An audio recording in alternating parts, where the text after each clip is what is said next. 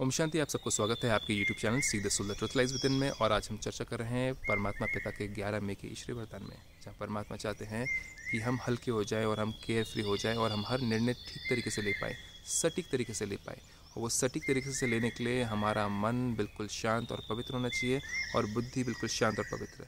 अगर हमारे अंदर देह का अहंकार है, अगर हमारे अंदर कंपटीशन है, किसी के साथ में तुलना करते हैं, किसी से घृणा करते हैं, किसी से नफरत है तो हमारी जो बुद्धि है, वो बहुत मैली हो चुकी है और हम उस समय ठीक से क्लियरली कोई निर्णय ले नहीं सकते हमारे निर्णयों में।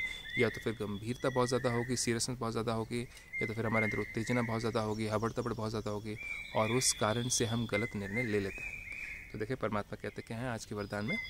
बाबा कहते हैं, निश्चिंत स्थिति। जिसमें चिंता ना करनी पड़े। द्वारा यथार्थ जजमेंट लेने वाले, देने वाले निश्चय बुद्धि विजयी रतन भवा। सदा विजयी बनने का सहज साधन है एक बल, एक भरोसा कि मुझे परमात्मा के बल से करना है। मुझे अपना बाहुबल नहीं दिखाना है, धन का बल नहीं दिखाना है पोस्ट पोजीशन का बल नहीं दिखाना है। मुझे परमात्मा के गुणों का, शक्तियों का बल यूज़ करना है और मुझे उस कार्य में निर्णय जो करना है, मुझे उसमें कार्य में निर्णय लेना है। और उस कार्य को सफल करना है। लेकिन अगर मैंने अपने अभिमान का बल ले लिया, दुनियावी धन संपत्ति का बल दिखाया और अपना गुरूर दिखाया, अपने एजुकेशन का गुरूर दिखाया, परमात्मा कहता है तो तुम इस कार्य को सफल नहीं कर पाओगे तुम जीवन में भी आगे बढ़ नहीं पाओगे। तो परमात्मा कहते हैं, एक बल हो परमात्मा का बल और एक भरोसा है, परमात्मा का भरोसा। अपना भरोसा नहीं, बाहुबल नहीं, धन बल नहीं, परमात्मा का बल, परमात्मा का भरोसा। एक में भरोसा है तो बल मिलता है और अनेकों के ऊपर अगर डिपेंडेंट होंगे तो फिर क्या होगा? खिचड़ी पक जाएगी मन के अंदर, निर्णय ले नहीं पाएँगे। निश्चय सदा निश्चिंत बनाता है। निश्चय किसमें परमात्मा की। परमात्मा मुझे जो बोल रहे हैं, मुझे जो गुण और शक्तियाँ इस्तेमाल करने के लिए बोल रहे हैं, जिससे कि मैं कार्य को सफल करूँ, वो उस पर मेरे को फेथ है।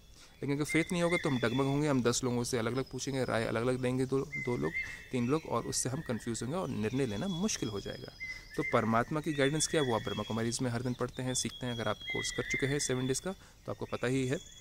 परमात्मा कहते हैं, निश्चय सदा निश्चिंत बनाता है और जिसकी स्थिति निश्चिंत है, वह हर कार्य में सफल होता है क्योंकि निश्चिंत रहने से बुद्धि जजमेंट यथार्थ करती है। लेकिन उसमें अगर हमारा मिश्रण आ जाता है, मैपन आ जाता है, मेरा आइडिया मुझे पहले, मेरे को पहले होना चाहिए, मेरे को पहले पता चलना चाहिए, मेरे को आगे बढ़ना है तो परमात्मा कहते हैं, फिर हम उस पर हर किसी को दुख देते हुए, हर किसी को तंग करते हुए हम आगे बढ़ते हैं और फिर वही लोग हमें रोकना शुरू कर देते हैं।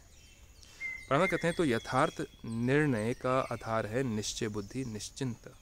सोचने की भी आवश्यकता नहीं, क्योंकि फॉलो फादर करना है तो असोचता बन जाना है। जब हमारे अंदर बहुत कन्फ्यूज़न होता है अभिमान होता है, अहंकार होता है, घृणा, नफरत होती है, या हमें किसी से ईर्ष्या होती है और हम उस कार्य को आगे करना चाहते हैं और हमारे ही साथ में जो लोग हैं उनसे अगर हमें ईर्ष्या है और हम ही टीम में हैं और हम आगे को कार्य को पूरा करने की कोशिश करते हैं तो फिर हम एक बल, एक भरोसा नहीं हुआ। उसमें हमें चिंता होती कहीं ये मेरे से आगे ना बढ़ जाए कहीं इसको लोग ज़्यादा महत्व ना दें। तो यहाँ पर फिर वो कार्य में हम क्या करते हैं, विघ्न डालते हैं और परमात्मा के कार्य में विघ्न डालने से हम पाप आत्मा बन जाते हैं। तो यथार्थ निर्णय का आधार है निश्चय बुद्धि निश्चिंत। सोचने की भी आवश्यकता नहीं क्योंकि फॉलो फादर करना है तो परमात्मा को फॉलो करना है तो हमें अपने अंदर मेडिटेशन करके, राजयोग का ध्यान करके, हमें परमात्मा से जुड़ करके अपने अंदर की मैल को निकालना है, ताकि उससे हम अपने मन बुद्धि को क्लीन कर पाएँ क्लियर कर पाएँ, और उससे हम निर्णय ले पाएँ। फिर परमात्मा कहते हैं, क्योंकि फॉलो फादर करना है, कदम पर कदम रखना है। छोटा बच्चा जैसे पापा के पैर पे कदम पे कदम रख करके पिताजी उसको आगे लेके जाते हैं, वैसे हमें परमात्मा पिता के पहले बच्चे ब्रह्मा को फॉलो करना है। अगर ब्रह्मा बाबा अभी जैसे नहीं हैं तो हमारे पास में यहाँ पे दादियाँ हैं, दीदियाँ हैं, जो कि वरिष्ठ हैं, जो कि गुणों से, शक्तियों से इस संस्था को आगे बढ़ा रही है, जो कि है godly spiritual university Brahma Kumari की तो उन्होंने कैसे आगे बढ़ाया, कैसे ये सफल हुई, कैसे 86 ईयर्स तक ये जो ईश्वरीय विश्वविद्यालय आगे बढ़ता जाए, कुछ तो गुण होंगे, कुछ तो शक्तियाँ होंगी ना, उनको हमें इस्तेमाल करना है। सिर्फ़ श्रीमत के कदम पर कदम रखते चलो तो विजयी रत्न बन जाएँगे। परमात्मा का ईश्वरीय विश्वविद्यालय है, ये हमारा किसी पर्सन का नहीं है। ये कोई पर्सन इसको नहीं चला रहा, ना दीदियाँ चला रही, ना दादियाँ चला रही हैं, वो परमात्मा के दिए हुए गुण और शक्तियाँ और ज्ञान को इस्तेमाल करके चला रही, तभी ये सफल हो रहा है। और हमें क्या करना है? हमें सेम चीज़ को फॉलो करना है।